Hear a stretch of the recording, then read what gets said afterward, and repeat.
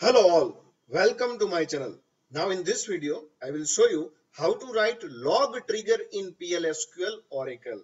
Whenever user perform any transaction on employee table, I want to get the information of the user and that is which user has performed this transaction, what kind of transaction it is insert update or delete, what is the old information of the employee and what is the new information of the employee that I want to get. What is old information? It means that whenever user delete the data, it is known as old information. And whenever user perform the insert, it is new information. But whenever user performing any update transaction, at that time you will get old and new both. So I want to get all this information in the log table. So that is what I want to do over here. So let's do the same thing practically. So first of all, you need the log table over here. So let me create the log table. So I'm just writing over here that is create table log employee in which I want the information of the user who has performed the transaction. So I want the information like this that is username. So I'm writing over here that is username and data type is that is varchar2 10. I want the timestamp. So I'm writing here that is timestamp.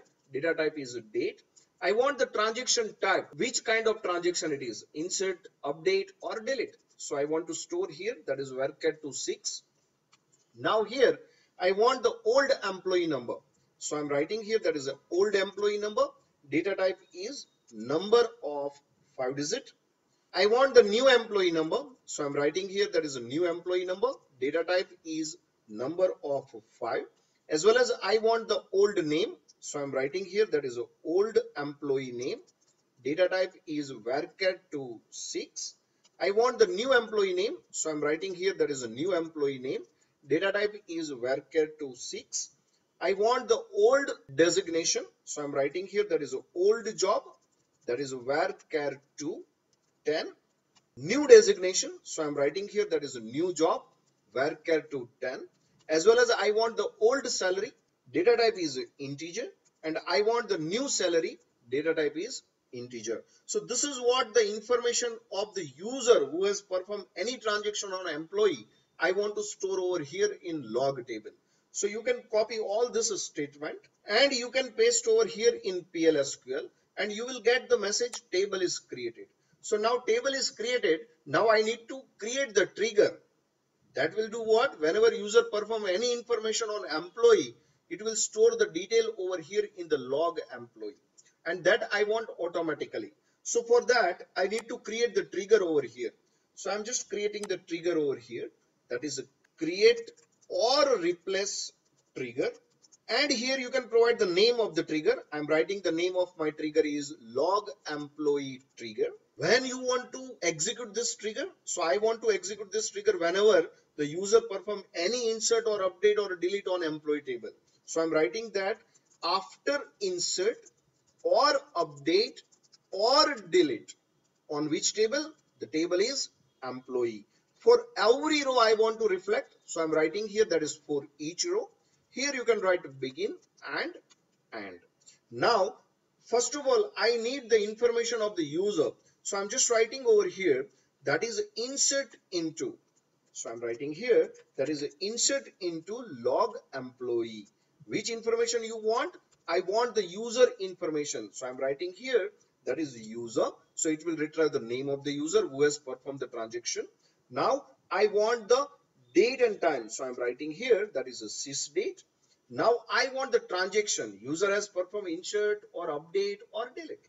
So for that you need to declare the variable. So i'm just declaring the variable over here. That is declare and here you can declare the variable that is variable transaction type.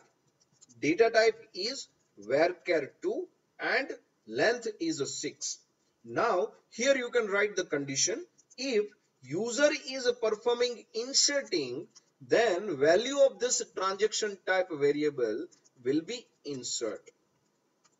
Else if if it is updating then value of this transaction type variable will be update else if if it is deleting then value of this transaction type value will be delete and here you can write and if now I want to store this value that is variable transaction type over here. So I'm writing that is variable transaction type.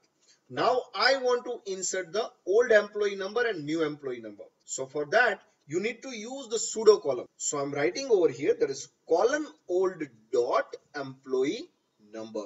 So what is colon old? It will retrieve the information of the employee number whenever the employee is deleted or if it is updated. So here you can write that is colon new dot employee number.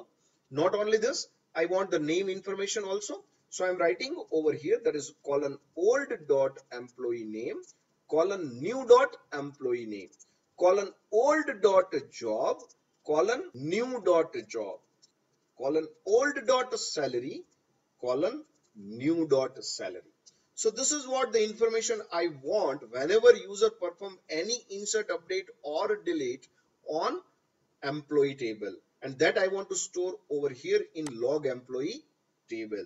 So now my trigger is ready. You can copy all this statement and you can paste over here in PLSQL. Now I'm getting an error. What is error? Let me show the error. So I'm writing here that is so error. It is showing the error on 10th line. So here in 10th line, I need to write over here that is a transaction type colon equal to delete. I need to write here semicolon. So what changes I need to do here? Very simple. I need to write the semicolon over here. So let me write the semicolon. Now you can copy all this statement and you can paste over here in PLSQL and you will get the message trigger is created. Once the trigger is created, now it's a time to test the trigger. So it is very simple. You can write over here that is a select star from log employee. So there are no record available over here. Let me check over here that is select star from employee. There are 15 records available over here. Now I don't want this data. So I just want to delete this record that is 4 times 1. So I'm just writing over here that is a delete from employee where employee number is equal to 4 times 1. Let me check the data into employee table. There are only 14 records and let me check into the log employee table. Here you can check that who has performed the transaction. Scott has performed the transaction on which date? 18 September. What he did? Delete the data.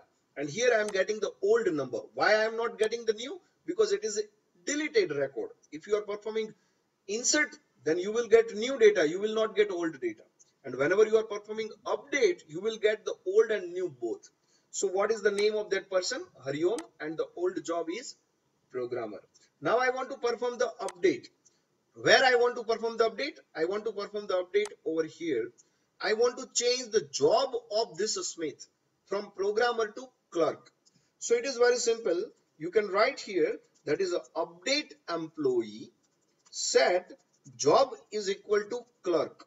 So this will be a new job where employee number is equal to 7369 and here you can check select star from employee job of the employee is changed now it is clerk. And you can check into the log select star from log employee. You will be able to see that Scott update old job was programmer and the new job is clerk.